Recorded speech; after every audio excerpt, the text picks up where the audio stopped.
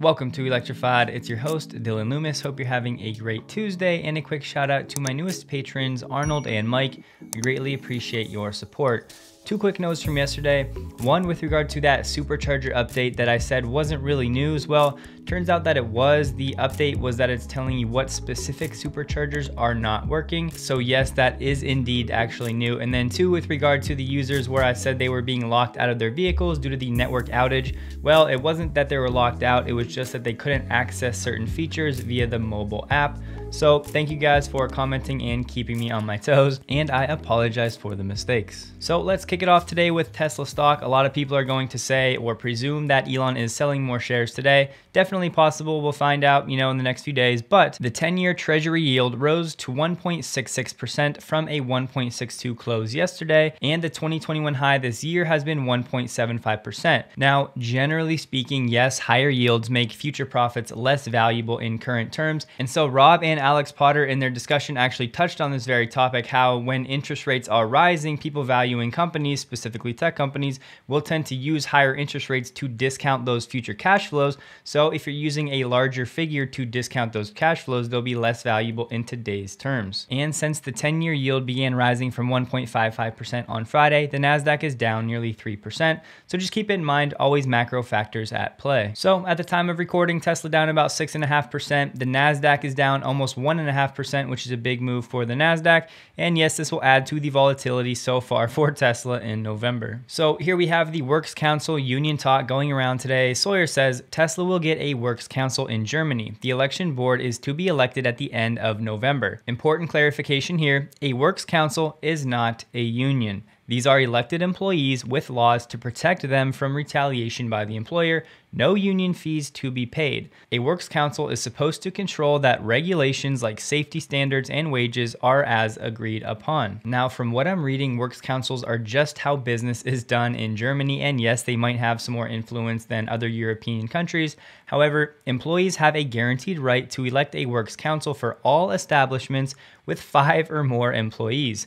These councils negotiate with management over different questions of company policy with different tiered rights for different issues. The rights of the Works Council differs from those of unions. They do not have the right to strike or to negotiate on wages. Now, just to be clear, there is a ton of debate on the productivity benefits or the drawbacks of works councils and unions, and it's gone on for years and years. So I've linked this article with some more information below if you would like to read the argument on both sides. And I wanted to spend a moment here because Electrek posted this article really conflating unions and works councils. It made it very confusing to understand what's going on. One that doesn't really know would definitely be led to believe that IG Metall was bringing an actual union to Tesla, which is not the case. IG Metall basically works with these works councils, and it looks like Tesla will have a works council, not an actual union. And last thing here, there's about a 0% chance that Elon didn't know this was going to be the case and part of the requirement for establishing in Berlin. So for now, nothing to be worried about. But Sawyer also shared that Tesla says it will start delivering the Model Y performance cars in China soon. This just after we learned that the Model S Plaid will also be making its way to China. Now the Plaid will be exported from Fremont, but this Model Y performance could be manufactured locally because yes, Tesla does have nickel cobalt manganese or an NCM supplier in Shanghai, and that supplier is LG Chem. And yes, behind the scenes, this document may no longer be accurate as we don't always get every update with what's going on between Tesla and its suppliers. However, with the last available information, the Model Y performance was going to be supplied by LG Chem, 2170s, and nickel cobalt manganese. So yes, it's possible the Model Y performance could be imported into Shanghai from Fremont along with the Model S Plaid. However, I would guess that Tesla would want to produce this domestically if possible. Here we have some news that Tesla has hired David Meisler, a former attorney for the SEC and the Department of Justice as new managing counsel. Now, most of us know that Elon has had his fair share of run ins with the SEC over the years, so having somebody that used to work there now on Team Tesla is definitely a good thing to keep Elon safe. Meisler commented, Today, a new journey begins. I start at Tesla as a managing counsel for litigation where I will support our important mission of accelerating the world's transition to sustainable energy. So, as Tesla continues to grow and receive more public scrutiny in the spotlight, this is a great move on Tesla IMO. greentheonly on Twitter, shared this screenshot that shows premium connectivity subscription and the ability to swipe to subscribe for this upgrade in the vehicle. So apparently for some users, in-car purchases and upgrades are now actually available. And I would add, it might be nice to have a PIN or a password after this swipe to subscribe in the vehicle just to prevent any children or passengers in the car dropping a $10,000 bill unexpectedly on your credit card for an accidental purchase. The Supercharger Updates guy shares, if it's any sign semi-production is ramping up, I would argue that it's not.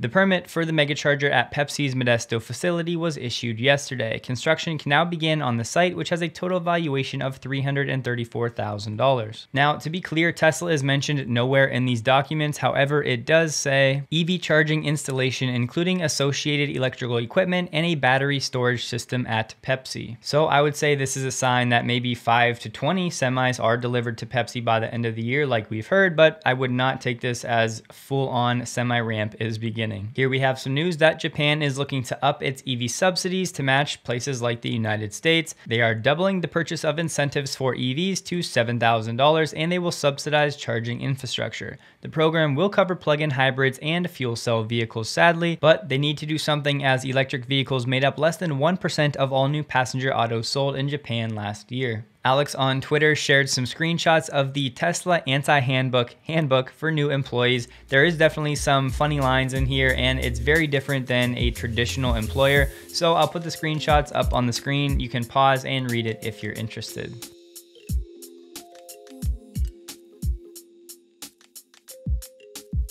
Here we get an update on Reddit that Sentry Mode Live camera is now available on Android. So to all of you Android users, get an iPhone. Here we have a video from Tesla owners online sharing an update on Tesla waypoints and showing us how it works and adding some requests for a feature update. We now have it. Now, of course, my car, I get cold weather improvements, title, traffic aware cruise control chime, which is a new feature as well. You'll now receive an audio alert when traffic aware cruise control is enabled. So anyways, let's take a look at the navigation. So for example, if I tap in my navigation here and I want to go, let's say to the ice cream store, I can just do that and we'll add it. But here's a neat, neat feature. So now you can press plus up here in the corner and you can type in, say, another address. I don't know, I'll just pick something here. I don't know what that is. Excuse me. And then you'll see that it gets added to the waypoint. You can also conversely do it sort of this ways. So maybe you want to go here, you can just tap on that, and now there's a button here that says add. You can add that to your route, and that gets added to the route. Now, unfortunately, there is no way to reorder these or to eliminate them after the fact. You can't even tap on them. There's no remove button or anything like that. So if you make a mistake, you kind of have to press cancel start all over again. Hopefully. And on that feature request, here's the good point. For those wanting more waypoint functionality like reordering and removing specific waypoints, let me tell you how agile software development works. You deliver the smallest amount of value as soon as you can and then get feedback to learn from. This is advantageous because it allows you to deliver value to users as quickly as possible and get market validation before building on top of it. There may be technical or user experience issues that you may want to learn from and you may need to make adjustments. After gathering feedback, then iterate by improving existing functionality or adding additional functionality in small, frequent releases, learning from feedback between each release. If it gets a lot of use and is successful, customers will request more and Tesla will build up the feature set. A quick note here, but Joe Biden has announced that the US and other countries will release strategic crude reserves in an effort to increase supply and force gasoline prices lower Historically, this only will dampen the prices, if at all, in the short term. The current price per barrel is around $78, which was up between the range of 50 to $65 pre-CV. Here we get some anecdotal evidence from a Tesla sales rep via a text. We're starting to see Model 3s with the USB-Cs. Yours may not need the retrofit. Have a great week and happy holidays. So nice to hear and hopefully that is the case for all users. Good question here from Viv, but is the world simulator mostly simulating scenarios based on US traffic fleet data, or are you taking other regions into account yet? Elon said it can simulate anywhere, but we need to focus on one region until FSD is out of beta, then expand geographically to have betas in other countries. Canada is not a lot different from the US, but different enough. Speaking of the FSD beta, 10.5 has actually gotten really good reviews in the first few days. Now, yes, experiences will vary greatly depending on where you're at and what your specific driving situation is like, but I would say overall, 10.5 is overwhelmingly positive thus far. And in response to a whole Mars video with zero disengagements, Elon said, I was able to do several zero takeover drives around Austin last night using random map pin drops no Tesla has ever done these routes. It looks like Samsung has officially picked a Texas site for their advanced US chip plant. It will be in the city of Taylor, roughly 30 miles, 48 kilometers from its giant manufacturing hub that is already in Austin. The new plant will augment Samsung's already sizable presence in Austin, where it's invested about $17 billion to date on a sprawling complex that houses more than 3,000 employees and fabricates some of the country's most sophisticated chips. Samsung is planning to invest another $17 billion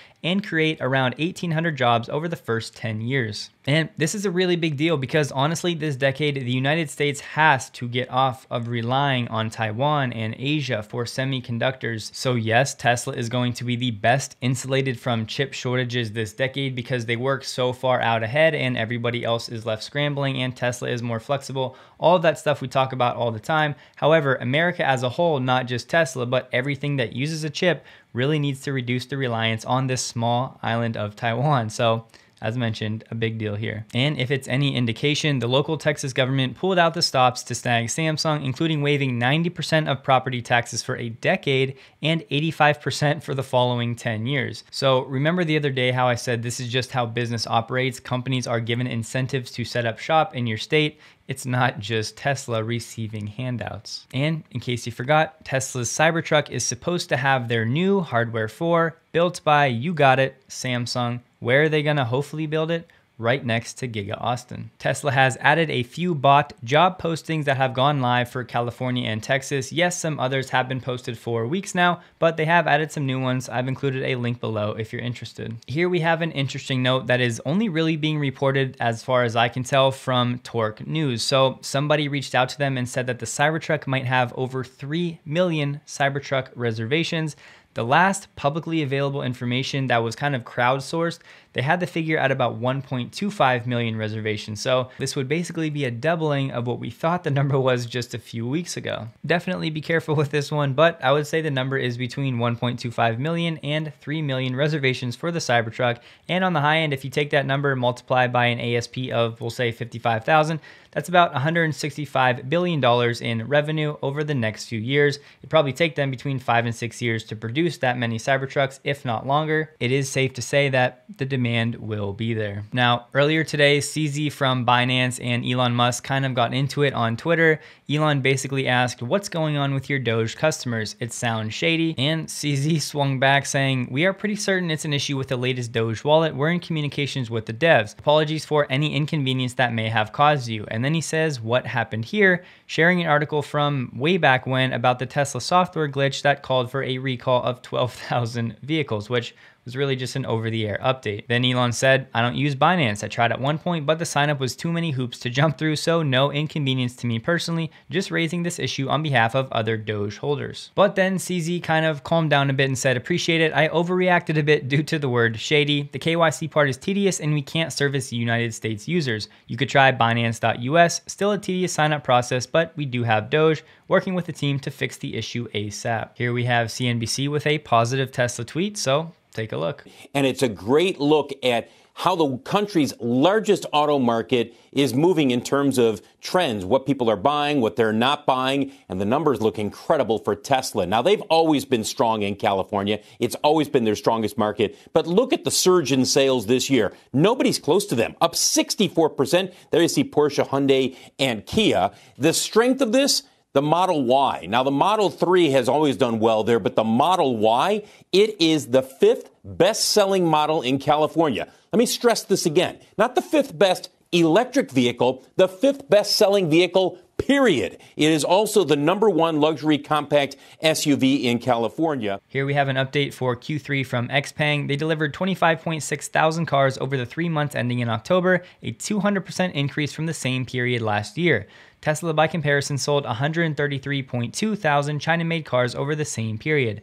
Xpeng posted a loss of 27 cents per US listed share on a non GAAP basis and said deliveries over the fourth quarter should range between 34.5 and 36.5 thousand vehicles. Porsche is starting to talk about a flagship model that might look something like the Macan, but they are saying it should arrive sometime in the second half of this decade, so not worth speculating or getting excited about just yet. And last thing for today, this in my opinion, is going to be the vehicle to watch for GM. All of the talk about GM, well, what are they actually doing?